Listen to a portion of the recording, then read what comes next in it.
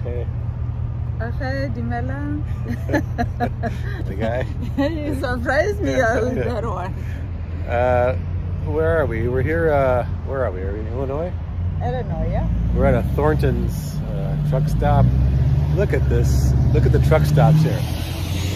Thornton's, Love's, and Wendy's. There's a Speedway over there. Truck stop uh, central here.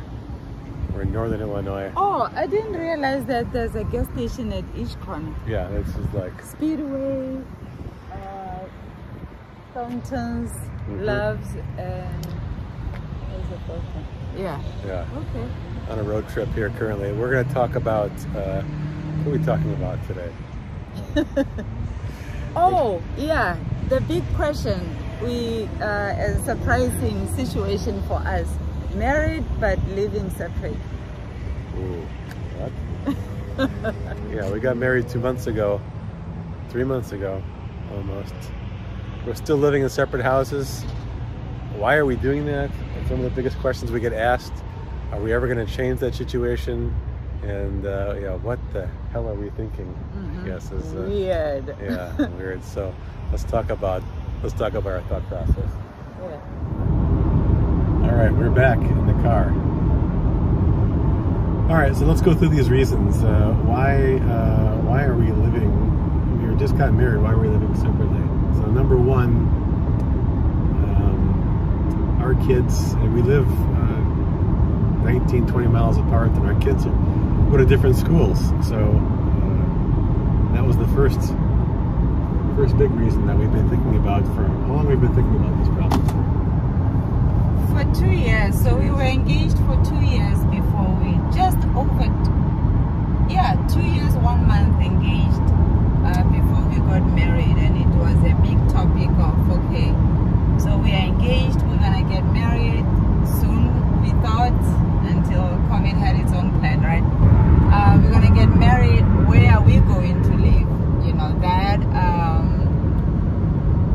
side of town, which is where I am, or the other side of town. So the So it's- been a topic for more than two years, really. Before we got engaged, we thought about, well, if we did get engaged, how would this work? So this is not a decision we took lightly. Yeah. So that's one. Kids are in different schools. Uh, their neighborhoods are different. Their friend group is different, right? So not only in the schools, but uprooting their their whole way of being and their what they're familiar with would be another one. Yeah.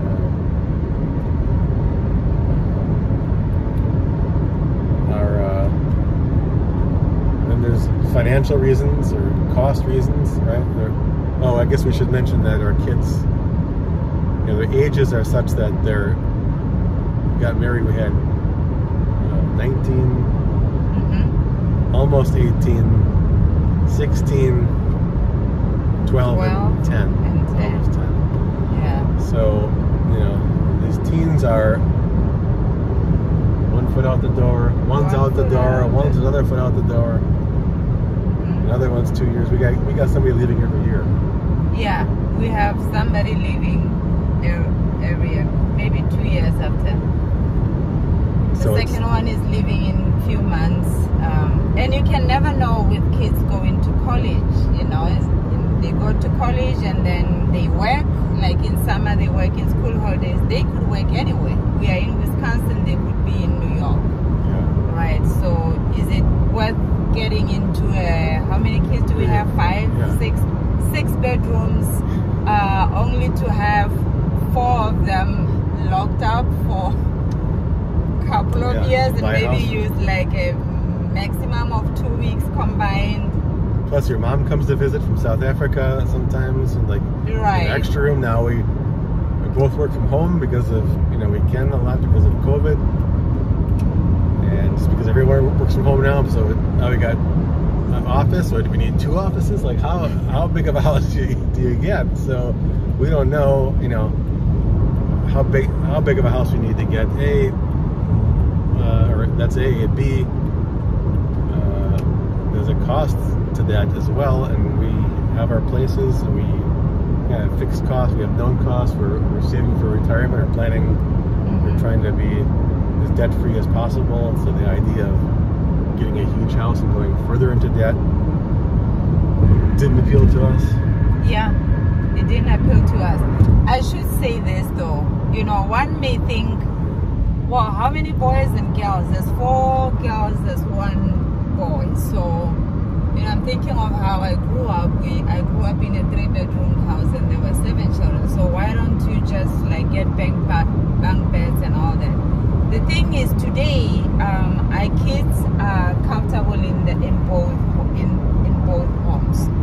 So it would be such that our love affair and our decision to get, because this is the second marriage for both of us, our decision to try love for the second time comes at a cost to our children where they have to leave the schools they they are at, leave the neighborhoods they know of, leave the comfort of being in their own space that they had since whenever, only to, um, you know, to, to suit us, to, to suit Right. us, right?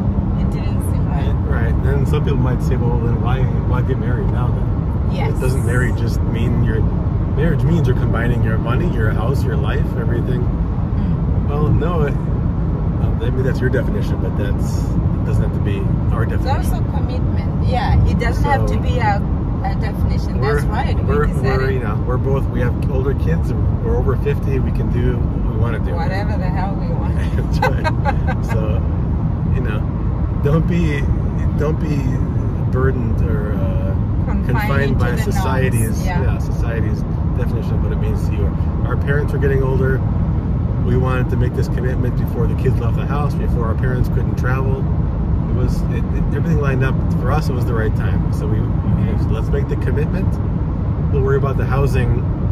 Let's see where we are this year, at the end of next year, at the end of next year. If it, you know where the Mhm. kids are with college. So I Yeah. guess in, in summary, it's just the right decision for us.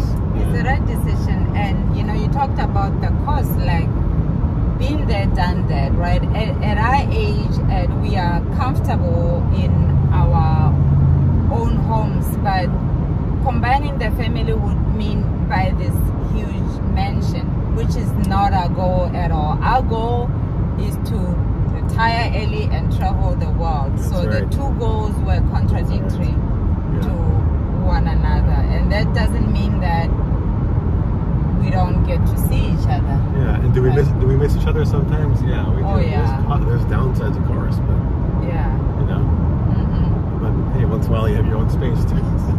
so it, it's not. Uh, it's a There are pros temporary sacrifice which seems to suit almost every box that we have you know we can take and you know a, our kids happy yes a kids comfortable yes. Uh, parents are able to travel now as opposed to later when we can live together yes. Um, are we um, i don't know can we save money more? Yes. Yeah. uh, are we on a journey to retire early because of that decision? Yes. So it's a sacrifice because we do miss each other a lot sometimes. Uh, we try our best to see each other as much. Oh, both of us have 50% placement with the kids. So Right. half the time we for sure see each other. The other half we are with kids, you know, the normal mumbo jumbo of homework and sporting activities here Yeah. and there. We try our best. so in short, it fits our family system, our system the best, and it doesn't matter what the preconceived notions of. Yes, and we may have for us. started a trend.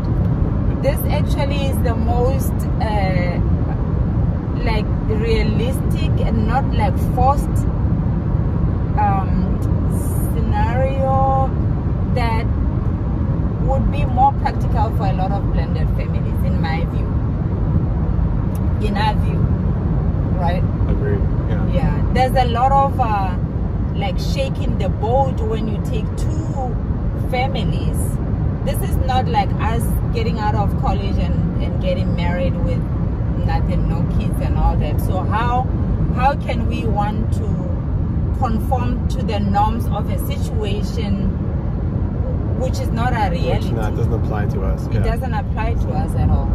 Yeah. So I'm proud of us. Yeah, I am too. We it, it takes it takes guts. It takes a lot of thinking, mm -hmm. and uh, we just works best for everybody, not just us, for everybody in our Everybody. system. Yeah. Mhm. There you go. You can do it too. Ask us questions. Yeah, yeah. Ask us. Yeah. Ask what do you them. think? What do you think of this model? Yeah. Uh, is it crazy? Is it? Did we explain it better? Are you are you sold at the idea? Do you think it's? Yeah, we'll, we'll answer some of the best questions. We if will. can. Yeah. Yeah. So leave them leave them in the comments below, and uh, we'll talk more about this subject uh, as we go on. All We know it's a shocking subject to many, so I'm sure it's shocking to you. But hey, here we are. I think we, I think because we miss each other sometimes, this is like very, we keeping things fresh and There you go. Absence makes the heart grow we run at each other when we see each other Yeah. after two days. Yeah, absence Maybe makes this is genius. Yeah, maybe we started something. a. We did. Yeah, we're not at each other's throat for now. okay, yeah, comment. That's our reality. Bye, guys.